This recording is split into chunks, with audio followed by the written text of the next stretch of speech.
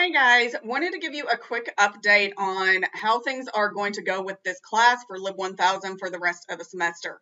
As I hope you are aware by now, all classes at UNC Pembroke have been moved from face-to-face -to, -to online for the remainder of the semester. That we are doing this to help with social distancing and stop the spread of this coronavirus. So everything from here on out is solely going to be facilitated through Canvas. What does that mean for this class? It means that instead of coming to campus for a face-to-face class meeting Monday, Wednesday, and Friday, I'm going to be passing all of our lectures via video. So I'm making instructional videos. I'm going to post them to Canvas. Instead of coming to class, you are in charge of watching those videos. Now, many students feel, oh, it's an online class. I can do this whenever. That is true, but I strongly encourage you to maintain the schedule you had before. If you have class at Monday at 125, sit down at your computer at 125 and watch your videos then. It helps you keep that routine. It helps you keep up with tasks and instructions and make sure you're not missing anything. So strongly encourage that, but if you want to watch your video at 2 a.m., as long as you're looking at the instruction, I'm okay with that. However, I also strongly encourage you not to get behind just like you don't get a week's worth of lectures in one day, don't watch all your videos in one day. Watch them on the day that they're supposed to be watched. So keep that schedule. Nothing is changing with assignments. All of your assignments were passed to you via Canvas. All of your assignments will be passed the same way you're submitting them via Canvas. So anything going forward with that, all online, not a big change for this class we are making this up as we go with professors. Many of your professors have never taught online before. This is an entirely new experience. Some of the professors on Canvas have campus have never even used Canvas.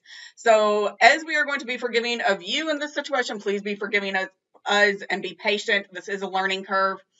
Um, but you do need to let us know what's going on with you. I don't know each of your individual situations. So if you are having trouble accessing computers and internet access to be able to do your classes online. If you're having other issues with your family and taking care of child care or parents, or you're having issues with your jobs and things like that, you really need to reach out and let us know.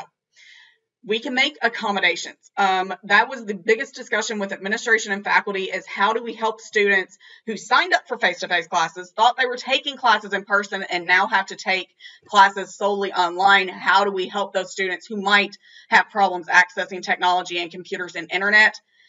there isn't a unified idea with this. Everything's being accommodated on a case by case basis. But I will say it again I don't know your situation. You have to tell me.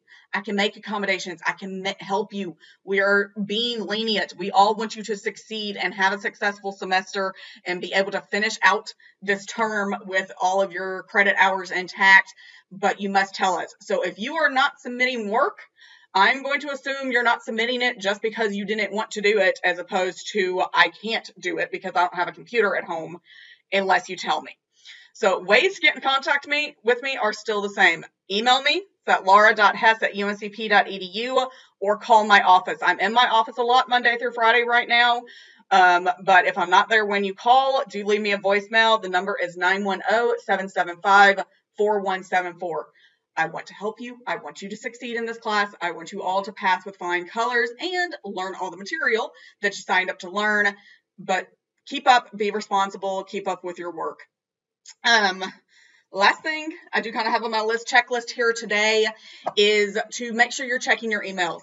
Since we no longer see you in person, the only way we have to get in touch with students is via email. So if you're checking emails, I know y'all get bombarded with things prioritize emails from the university, from the chancellor's office, the provost office, your advisors, those sort of people. They're giving you university wide updates, but also prioritize things coming from your professors. Make sure you're reading those, make sure you're checking those.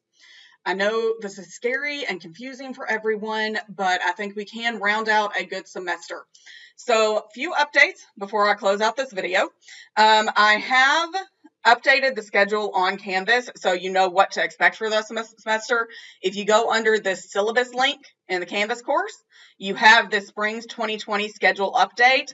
And what that is going to give you is kind of the topics we're going to go over each day. So what are we covering? That way you know, okay, what videos am I supposed to be looking at today? Anytime I upload a video, I'm also going to be uploading it with the date that you're supposed to watch it and the topic title.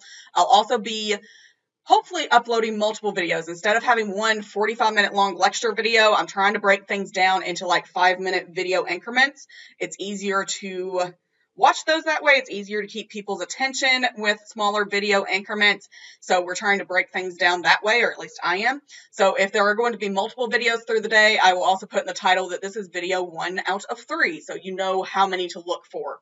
All of these videos will be uploaded to YouTube. And so you should be able to access them from anywhere you have internet. But three big dates to be aware of for the semester. So I have trimmed away the excess for our course calendar as much as I could. Um, this class is a little bit front loaded in terms of information, but back loaded in terms of assignments. So anything that could go did go.